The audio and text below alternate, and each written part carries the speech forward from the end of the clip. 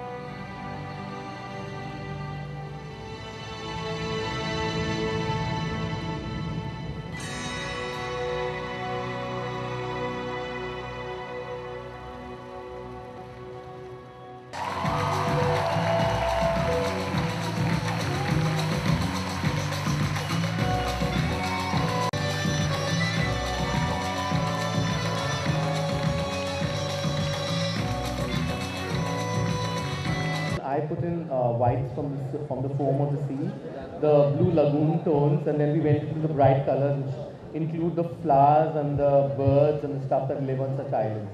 And through the whole collection, we maintained a sense of youthful energy that comes from a tropical island holiday.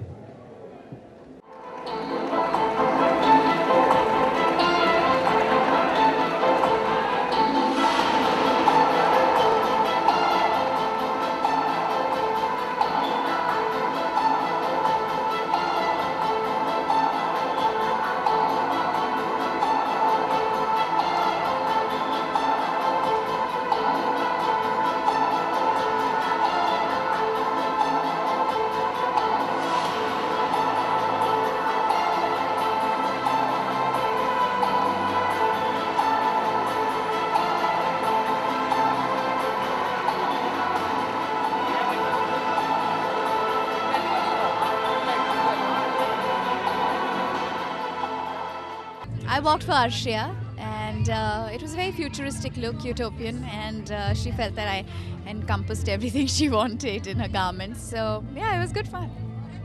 Yeah, that's what I was thinking. Na?